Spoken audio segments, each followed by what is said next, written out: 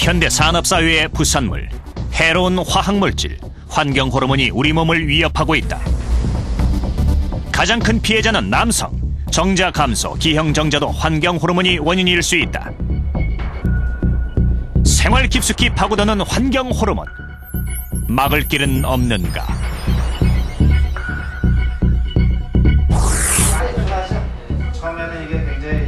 누구나 경험하는 목, 어깨 통증.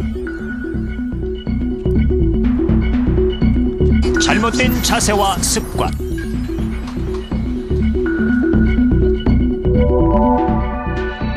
목, 어깨 통증.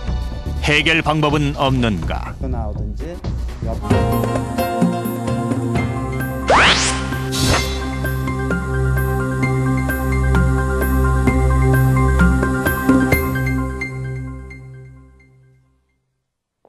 누구나 겪는 흔한 질병이 바로 감기죠. 그런데 요즘에는 이 감기 환자보다 더 쉽게 접할 수 있는 게 바로 목, 어깨가 아픈 사람입니다. 이유 없이 피곤하고 이 두통이 심하거나 뒷목이 뻣뻣해지면서 쑤시고 어깨 주변이 뻐근하다거나 결리는 통증. 한 번쯤은 누구나 경험하게 되는 흔한 증상인데요. 그 원인은 바로 이 척추에 있습니다. 이 척추는 7개의 목뼈와 또 12개의 등뼈, 5개의 허리뼈, 이렇게 세 부분으로 나눠지는데요. 그 중에서도 이 목뼈는 앞으로 90도 숙이고 뒤로 젖히기, 이 180도 회전과 옆으로 이 120도 기울이기까지 척추의 어느 부위보다도 유연성이 뛰어난 반면에 안전성이 약하고 보호막이 없어서 위험에 쉽게 노출돼 있습니다.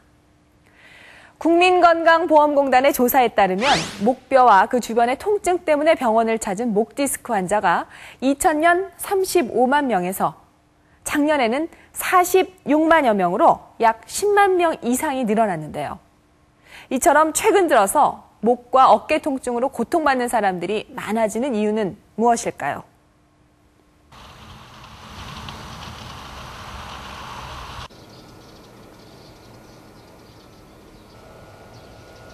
팔다리가 저리고 목과 어깨가 아픈 통증을 10년 넘게 달고 사는 박재동 할아버지.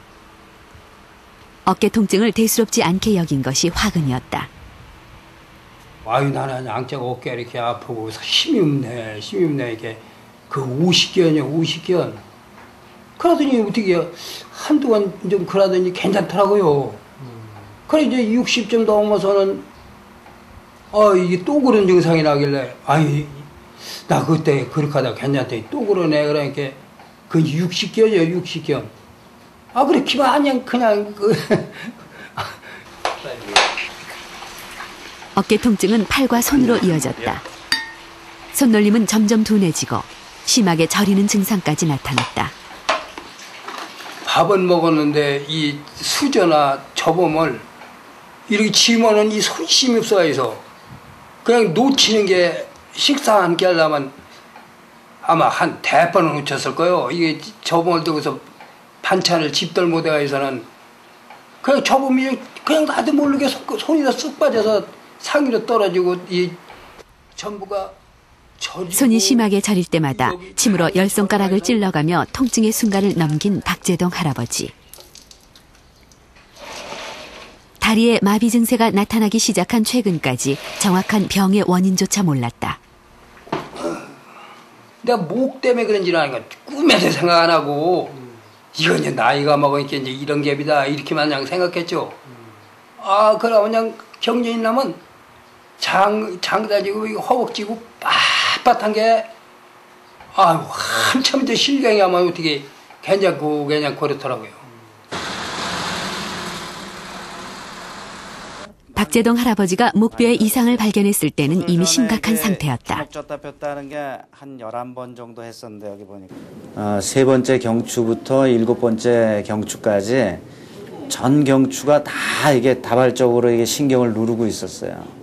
예, 그렇기 때문에 이런 병을 우리가 경추증성 척수증이라고 그래요. 예, 여러 군데에서 다발적으로 퇴행성 변화에 의해서 뼈가 자라나오면서 이제 신경을 중앙에 있는 척수를 누르는 거죠.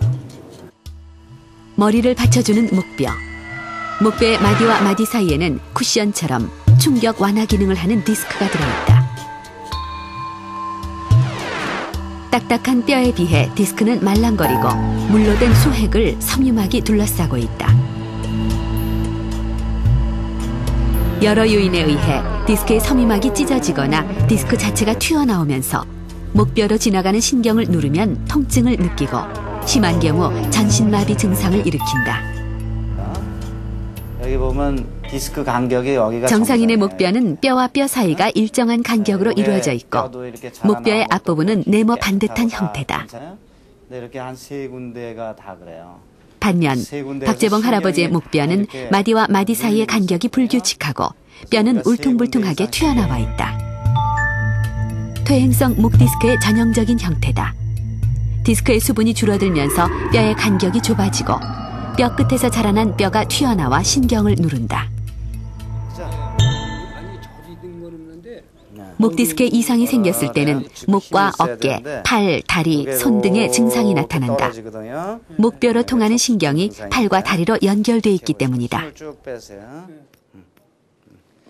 척수증 증상도 많이 좋아지셨네요. 그럼 요 신경근 팔로 가는 신경이 이렇게 눌렸을 때 신경근증이라고 그러고 뒤에 있는 가운데 두꺼운 척수가 눌렸을 때는 척수증이라고 얘기하죠. 그러니까 병은 원인은 다 똑같은 거예요. 그러니까 어딜 눌렀느냐에 따라서 어, 다른 증상을 일으키는 거죠. 목뼈 부위의 신경은 크게 두 가지다. 디스크의 양옆으로 지나가는 신경은 팔과 손에 영향을 미치고 목뼈 중앙으로 흐르는 척수는 우리의 사지를 지배한다. 박재동 할아버지는 한 달 전 목 디스크 수술을 했다. 아, 걷는 데는 지장 없어요. 전에는 걸려면 이, 이 다리가 이렇게 그냥 내 맘대로 되들 않고서 이게 지- 다리 맘대로 늘었어요. 근데 지금은 수술한 데는 걷는 데는 지장 없어요. 10년 이상 괴롭히던 통증들이 사라지고 포기했던 일상생활을 시작한 지금. 박재동 할아버지는 제2의 인생을 살고 있다. 아, 좋고 말고죠. 그럼, 아, 이만해도 나는 이제 세상에 이제 살만하요. 전에는 아주 고통이 보통 심한 게 아니었어요. 하루 24시간 목 통증과 싸우고 있는 박헌수 씨. 목과 팔, 손끝으로 느껴지는 통증을 조금이라도 줄이기 위해 그가 선택한 방법은 쪼그려 앉기. 자세가 이렇게 바로 한 바른 자세로 앉으면 어, 여기가 저리고 여기가 아파요. 그리고 이제 그 이- 이런 자세 있죠. 이 자세로 하면 조금 편안해요. 편안한 대신에 팔이 팔저림은 좀 심하게 와요. 그래도 이게 통증이 없으니까 편하고 좋습니다. 4년 전 교통사고를 당한 이후 얼마 지나지 않아 시작된 통증과의 전쟁. 원인은 추간판 탈출증으로 불리는 목 디스크 때문이다. MRI 결과 유독 튀어나온 한 부분이 눈에 띈다. 목뼈 중에서도 제일 움직임이 많아 다치기 쉬운 제5번과 6번 사이. 목 디스크가 제일 많이 생기는 부위다. 디스크가 파열이 돼서 이 팔로 내려가는 신경이 있는 그 구멍 속에 이렇게 콱 박혀 있습니다. 그러니까 뭐 엄청난 통증을 느끼게 되죠. 저희가 이 신경이라는 것은 이 자극을 조그마한 자극에 의해서도 굉장히 심한 통증을 느낄 수가 있기 때문에 어, 이 환자의 가- 같은 경우는 5번, 6번 디스크가 오른쪽으로 파열이 돼서 신경을 누르고 있기 때문에 지금 팔이 굉장히 많이 아픈 겁니다.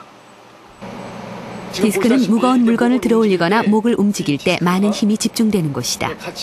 디스크 뒤에 자리 잡고 있는 인대 조직이 디스크에 걸리는 힘을 지탱해준다.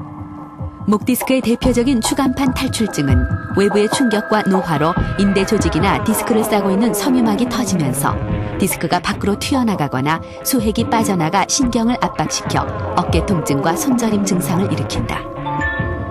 목은 어, 다른 부분하고 달라서 굉장히 많이 잘 움직여지는 부위입니다. 어, 척추 중에서 이 등 척추나 허리 척추보다